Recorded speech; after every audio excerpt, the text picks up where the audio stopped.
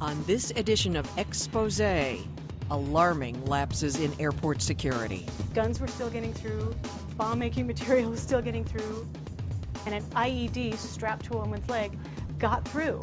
And reporters flying under the radar. You know, I could go over to Hooks and hop in any plane and take take off in it.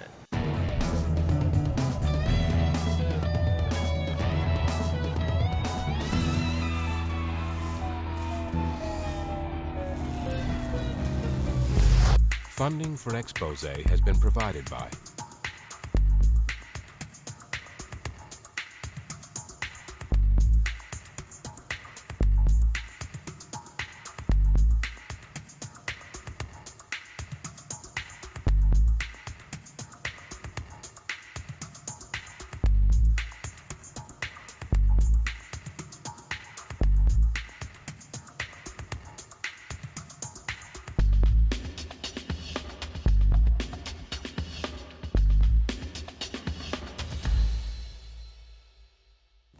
lot of things wrong with local news. There is a lot of mother and daughter getting breast implants together stories tonight at 10, and a whole lot of things that I'm not proud of in this industry, but there are a handful of shops that are, that are trying to do it the right way.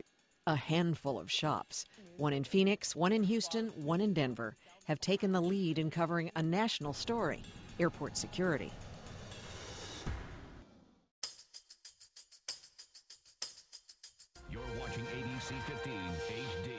You would think five years after 9 11 that airports would be very secure. Well, what you're about to see may have you thinking twice about the level of security Sky Harbor Airport is providing. In July 2007, Lisa Fletcher received a call telling her that something was amiss at Phoenix, Arizona's Sky Harbor Airport. I have a source at the airport, and that person has been a terrific source for the last five years. The person called me, and they said, Go to the airport, sit out there at night. Said, You've got to keep our names out of it, but here's what's going on. Please check it out. The source told Fletcher to make a trip to the airport late at night. She did, joined by fellow reporter Jonathan Elias. We were acting like we were a couple going on vacation, and we'd missed our plane, so we had to camp out in the airport. We had this elaborate setup with our hidden camera in our suitcase handle, and we were being very discreet. We Immediately went out and started checking around, and then when we saw it actually happening, that's when our jaws just banged holes right in the floor. We couldn't believe it. And I got a call at 5 o'clock the next morning. You're not going to believe what we found. And I'm like, okay. I'm like, you're kidding. Well, we got to go back. So went back a second night, and it was the same thing. What the reporters saw and what their hidden camera recorded was that beginning at midnight, person after person, bag after bag, cart after cart went straight through security without being screened. And we were close enough to the checkpoint that we really saw everything that was coming and going suitcases, giant cleaning carts. At one point, a guy wheels up this thing of newspapers that if you wanted to put a bomb in there, I mean, a giant bomb, you could just hide it in the newspapers and wheel it right on through.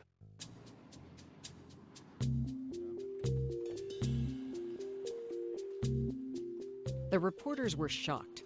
They had assumed that people and bags were always screened at all airports by trained officers of the Transportation Security Administration. The TSA was created after the 9 11 attacks to strengthen and oversee security for the nation's transport systems. But at midnight that night in Phoenix, Fletcher and Elias watched the TSA pack up and move out. The metal detectors and x ray machines were turned off, and a non TSA security guard took over. See this giant opening right here? This is where everybody comes through to get in with TSA. But come over here, let me show you something. This little portal, this is where you'd come in between 12 and 5 o'clock in the morning. And the only thing between you and getting into what is considered a sterile part of the airport is a podium with a security guard. After that first night, Fletcher and Elias became bolder. Still posing as vacationers, they approached one of the security guards with a handheld camera. He suggested he sometimes had trouble staying alert on the job. Sometimes you get The reporters learned from further conversations that the guards were employed by Akal Security. Akal was contracted by the city of Phoenix to take over for the TSA between the hours of midnight and 4:30 a.m. We said, What kind of training do you have? Are you trained to identify a false badge from a real badge? Because that's all he does is look at the badge and check it off on his check sheet. And he said, No. We don't get any kind of training like that. We watch a video, we get our uniform, and we come here. Fletcher and Elias also asked their sources at the airport if there was a second layer of security. No, they were told. This was it. And we did it night after night because we didn't want to give the airport the opportunity to come back and say, that was an anomaly. You know, you guys caught us on an off night. So we went night after night after night, and it kept happening over and over and over. At that point, it was just a matter of finding really a terrific expert that could look at this and say, big deal, not a big deal. Because from our perspective at that moment, it was a big deal. Fletcher contacted Larry Wansley, the former head of security for American Airlines. He now consults internationally on security and anti terrorism. This is at the same checkpoint. Same checkpoint. One minute later. You've got the front door TSA that has locked it up for the better part of the day, the majority of the day, and then you throw open the back door. And, and I'm appalled. I'm shocked and I'm amazed. When we heard him say that, we just sort of went, wow, this is even bigger than we thought. We're not security experts, but we had to go back and study what do airports do? What have they done historically? What did they do post 9 11?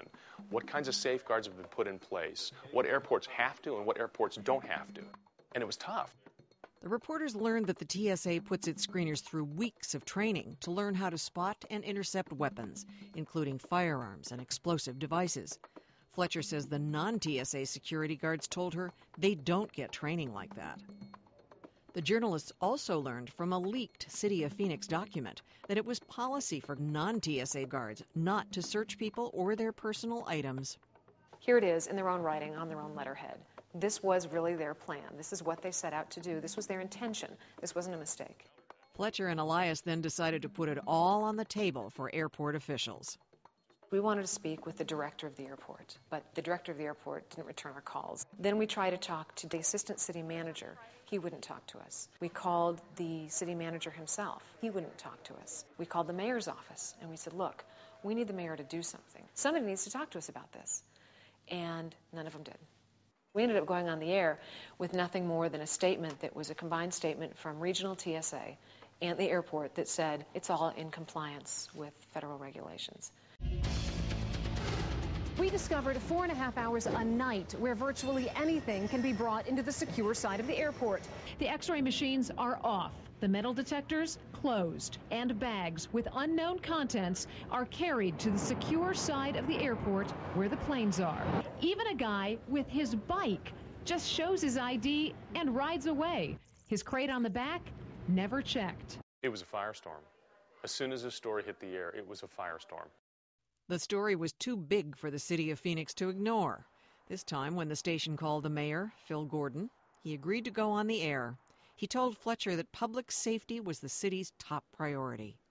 And since safety is a top priority, what was your reaction when you saw what our hidden cameras captured night after night. The security checkpoint entry is not the only point of security. This is a safe airport, and this is a safe airport not only through this mayor's eyes, but our police officers' eyes, as well as the federal government's eyes. I'll tell you, uh, Mayor, that some of our sources are police officers that do not feel that it's safe because of the circumstances that are occurring there. Let's talk about these bags that are coming through for four and a half hours a night with unknown contents. Well, Let's talk let, about let's- that. First, though, uh, I'd like to address the fact that these experts are in the private sector whose bottom line is to make money, whose bottom line is to get contracts increasing security throughout the country, not only airports, not only in Phoenix, but throughout the country. My job is to get the privilege to sit there in front of a public official that most people never get to sit in front of and ask the questions that are burning in their minds. Can you guarantee to the citizens of Phoenix and the people flying out of Sky Harbor that the contents of those bags are screened beyond that checkpoint? I can guarantee that our officers, our security personnel, and the federal government are doing everything that they can do to keep this a safe city as well as a safe country. You know, at some point, as a reporter, too, you think if I ask the question enough times, I'm eventually going to wear them down and they're going to answer the question because I'm going to drive them crazy. Every employee, 24 hours a day, is screened. Their bags aren't screened, though, Phil. Employees are screened, Lisa. Their bags are screened. The employees are screened. The employees are screened. That means they get a badge check. There are other measures in place, too. Are their bags checked? There, there are measures in place that secure that airport 24 hours a day, seven days a week, whether TSA is manning their machines or not. He finally said it. He goes, Lisa, we could go round and round with this all day. We could. Are we gonna? Or are you gonna answer the question? Are these bags checked? We broke the story about serious security risks at Sky Harbor Airport, and now the TSA is taking action. They have just flown in to oversee changes that they're putting in place because of our undercover investigation. Just three days after the story aired, the TSA suspended the federal security director at Sky Harbor and put TSA screeners back on round the clock duty.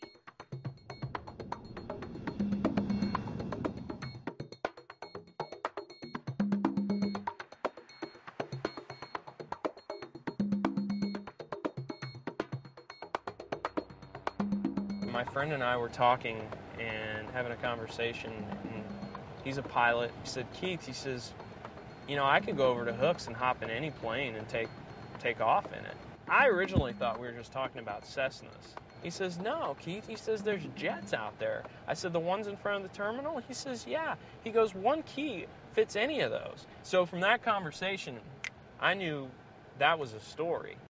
Keith Tomshe works as a journalist and photographer for KHOU's investigative unit in Houston. He brought his idea to correspondent Jeremy Rogalski and executive producer David Raziq. Doing some research, they were surprised to find that when it comes to security, not all airports are alike.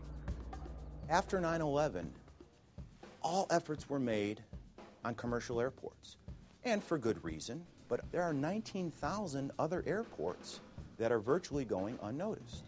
Now, some of them are as small as literally a, a dirt strip in the middle of a cornfield, but others, as we found, are very much thriving small airports with a lot of corporate jet and executive uh, traffic and are real players in the aviation industry. Of course, you know, the beginning was let's go visit the airports. Tomshe would first test the security at Hooks Airport, 30 miles from downtown Houston.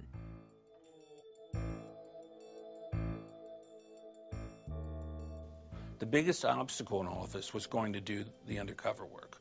If it didn't happen, if he didn't get in, we didn't have that story. I picked this entrance out of the two because, I mean, I felt kind of at home. It said welcome. It says come on in for deli sandwich, now open. So I thought, well, that should be pretty easy to get into. There's no, uh, you know, nothing I have to be deceitful about that. So the first time I came, I pressed the button and, uh, you know, asked if the deli was open, and they opened the door and let me in. Good morning, and thank you for calling Cook. This how may I help you? Good morning. Can you open her up for me? You got to pick the right person to go in there. And Keith just has a strong air of innocence about him. And so that actually sort of hedges, you know, in your favor. The camera's actually right here in the center. Um, the glasses look like maybe they're from the 70s. I always joke around.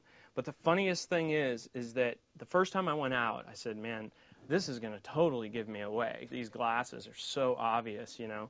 But when you put them on, I think maybe they don't realize it's a hidden camera because they're so distracted on how funny I look in them. I don't know if that's the case or what. Tomshe made his rounds to two more airports on the outskirts of Houston. At Sugarland, he walked right through the terminal and onto the tarmac. When newsrooms use hidden cameras for hidden cameras' sake, people are starting to read through that. You know, back in the 80s, it was we went undercover with our hidden cameras, you know, and it was the gym bag with the with the round circles or you know the, the round kind of periscope thing through the gym bag as you go explore dirty restaurants or something. However, there are some stories where you cannot get to unless you do have a hidden camera. At the third airport, Lone Star, Tomshe was able to walk right up and touch a commercial jet on the tarmac. Okay, so I'm gonna walk out here. You can walk right up and just probably just go like that. Yeah. Yeah. Mm-hmm. Houston has one of the largest concentrations of chemical plants in the country. If attacked from the air, they could spew out toxins, potentially killing thousands. Houston had a unique one two punch. We have these security gaps in several airports, And you could be up and you could be down in our chemical alley in under five minutes' time. Both these elements fit perfectly together. One was the delivery system and the problems, and uh, the other one w- was the consequences. After a nearly two month investigation, the story made air. While Uncle Sam spends billions a year on commercial airport security, thousands of smaller general aviation airports are almost going unnoticed. And experts say that leaves the door wide open, sometimes literally, for a terrorist to steal a plane. To the Sugarland Regional Airport. It's got a luxurious new terminal, but a fence that doesn't go all the way around. After the story ran, one guy came up to me and just said, That was goddamn scary. I'm really worried. What are they going to do? One of those who saw the broadcast was Houston area Congresswoman Sheila Jackson Lee, who requested that the Department of Homeland Security investigate. You know, one of the things I've asked TSA to do this year is to go back and look at the general aviation sector and see where do we need to tighten up. When we called up a couple months later to say, hey, how's that investigation coming that our Congresswoman requested? And they said, well, it's not in the budget this year, and we're going to have to wait to next year. What does that go back to? Perhaps the cost benefit analysis.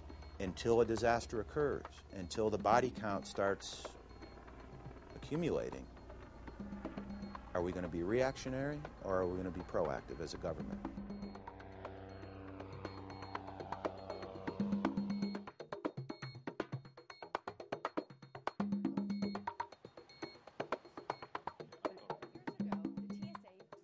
Deborah Sherman has built her reputation on Homeland Security stories, staking out the territory even before there was a Department of Homeland Security.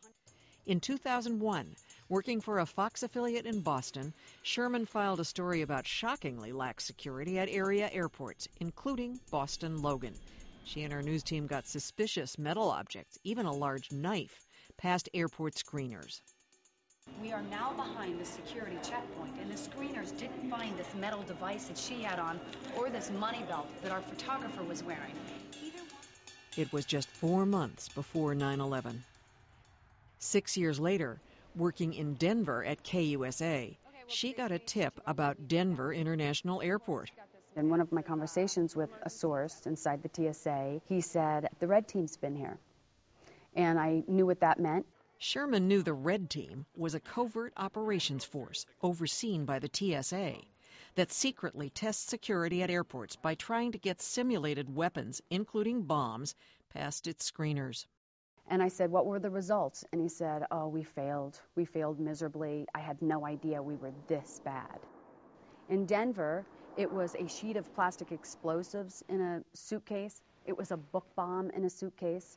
One undercover agent, sources tell us, wore an IED, an improvised explosive device, strapped to her leg. All the alarms and whistles are going off, right? The metal detectors are working. And the undercover agent said, Oh, I had surgery. And she was able to walk her way past. Deborah came in with their first tip, and reporters usually come in, you know, they're snoopy in the in, in the first place. I mean, they come in, we got to get this on the air right away, you know, and they stand there kind of like they have to go to the bathroom, you know, and we got to get this, we got to get this. I think anytime a reporter comes to you and says, I have a story or, or some information that challenges the security of the people that we serve, you have to say that's an important story. Sherman knew that getting absolute proof of the Red Team's results would be nearly impossible. She had been trying to learn about the Red Team since before the TSA was created. In fact, I asked the uh, FAA once about the red team, and they wouldn't even acknowledge that it existed.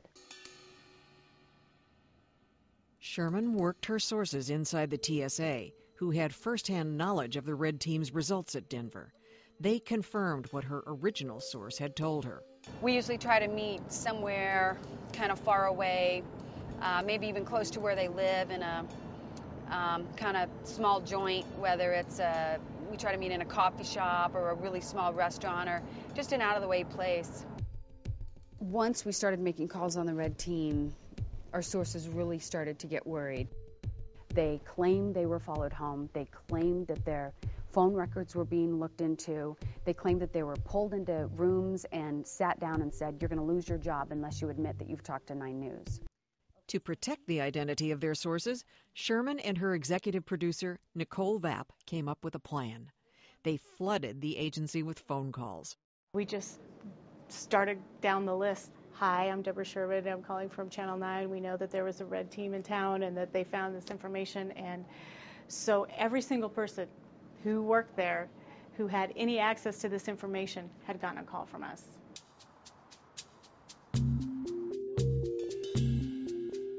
I thought I had this information enough ways from enough different sources independently, all telling me the same thing, that I was good to go with the story.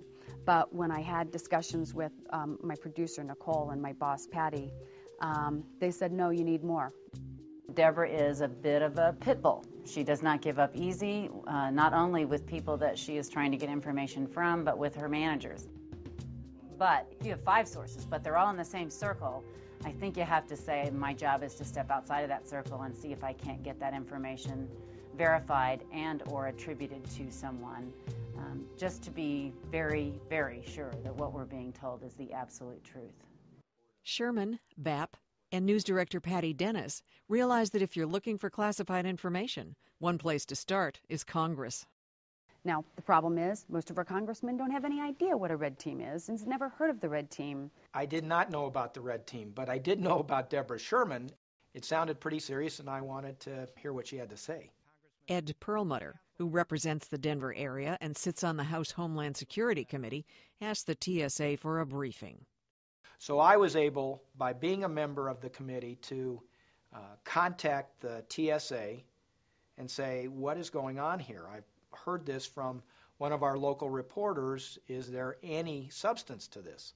And they got an immediate reaction from them. Now, the only problem with that was um, Perlmutter had now just been given classified information and couldn't now tell us what he knew because it was classified. But what he did not do is correct us. And what he did not do is tell us we were wrong. And so from his responses, we knew that our sources were right on the money. Deborah Sherman finally had all the pieces she needed. We've learned screeners at DIA last month failed to stop undercover agents packing bombs and other weapons. Sources say agents snuck in improvised explosive devices and liquid explosives. Each time, the screening machines worked and alarms went off. Sources say it was human failure. Screeners did not follow standard operating procedures, opening and hand searching luggage, or wanding and patting down the agents, missing the bombs. Why did screeners fail? They say they're pressured to get passengers on planes and are short staffed. There used to be 1,100 at DIA, but after Congress capped funding, today there are 750. Sherman interviewed the head of TSA, Earl Morris, who wouldn't confirm the red team's results and told her the tests were designed to be difficult. If we wanted to, we could put these tests together so that we had 100% success rate every single time. Then they wouldn't be challenging, they wouldn't be realistic. But Sherman's sources told her no matter how the tests were designed, the simulated weapons that got through were just plain obvious. The red team members say, oh, we're not sneaking things past them in five different components and then reassembling it behind the screening checkpoint and saying, aha, here's a bomb. We, you know, fooled you.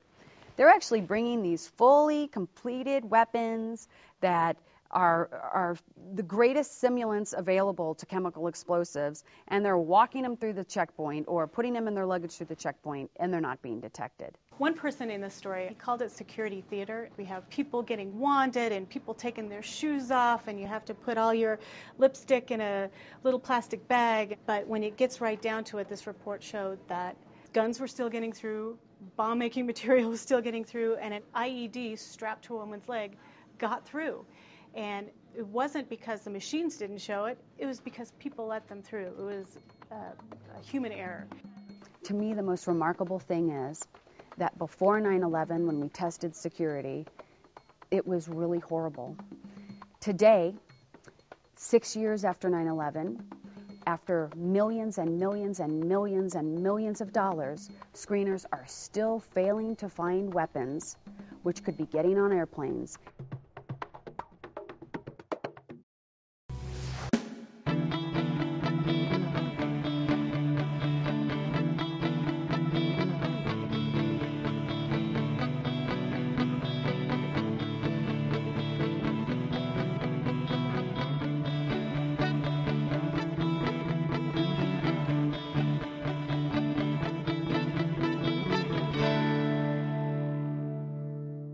Funding for Expose has been provided by